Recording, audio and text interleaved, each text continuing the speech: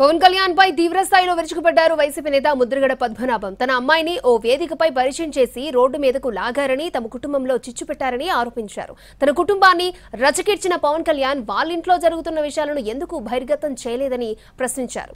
పవన్ తన ముగ్గురు భార్యలను కూడా పరిచయం చేయాలన్నారు. ఇప్పుడు కూతురు కాదే. ముదుగా భద్రనామ ఇంటి పేరు లేదే అమ్మాయికి. సిగ్గు లేదా పవన్ కళ్యాణ్ గారు? మా పేరు మీ డయస్ను ఉపయోగిస్తావా? ఇది పద్ధత? మీ ఇద్దరు భార్యను కూడా పరిచయం చేయొచ్చు కదా? వదిలేసిన భార్యను పరిచయం చేయొచ్చు కదా? డయస్ మీద తీసుకొచ్చి పరిచయం చేయి. మూడో భార్య కూడా తీసుకొచ్చి పరిచయం చేయి. అంటే ఎదరో లోకువా నీ ముగ్గురు భార్యలు తీసుకొచ్చి డయస్ పరిచయం చేయి. మా కుటుంబం దొరికిందా మీకు? నన్ను రోడ్డు మీద లాగారు కాబట్టి నేను రోడ్డు మీదకి వచ్చాను.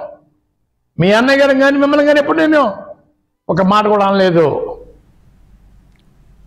చంద్రబాబు ఎస్టేట్లో పవన్ మార్కెటింగ్ మేనేజర్ అంటూ విమర్శించారు ముద్రగడ పద్మనాభం. వచ్చే ఎన్నికల్లో తన అమ్మాయికి ఎమ్మెల్యే టికెట్ ఇస్తాననడం నటనేనంటూ కొట్టిపారేశారు ఆయన. పవన్కు సీటు దిక్కులేదని భీమవరం గాజువాక నుంచి తన్ని తరిమేస్తే పవన్ పిఠాపురం వచ్చారంటూ ఎద్దేవా చేశారు ముద్రగడ.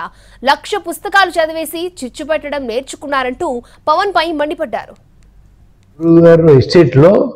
ఈయన మార్కెటింగ్ మేనేజర్ అండి. జనరల్ మేనేజర్తో పాటు మార్కెటింగ్ కూడా ఇచ్చాడండి. మా అమ్మాయికి సీట్ ఇస్తాడు ఆయన హైదరాబాద్ వచ్చేసేసి ఇక్కడ మా కుటుంబాల్లో చిచ్చు పెట్టేసేసి మా అమ్మాయి అమ్మాయి సీట్ ఇస్తాడా ఆయన దిక్కు లేదు సీటు. పారిపోయి వచ్చేసాడు భీమవరం నుంచి. తన్ని తరిమేశారు గాజువాక నుంచి అండి. ఇక్కడ తన్ని తరివైపోయారు తరివే తరివైపోతున్నారు పిఠాపురంలో. ఈ పెద్ద మనిషి మాకు సీట్ ఇచ్చేస్తాడా? ఈ అమ్మాయికి? ఓహోహోహో.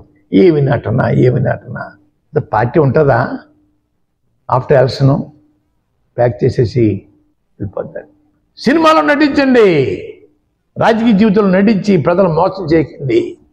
ఇంత పిఠాపురం మూడు లక్షల మెజార్టీతో గెలుతున్నట్టుగా లక్షల పుస్తకాలు చదివేశాడు లక్ష పుస్తకాలు చదివేసేసి కుటుంబాల్లోనూ కులాల్లోనూ చిచ్చుపెట్టడం నేర్చుకున్నాడు నేను?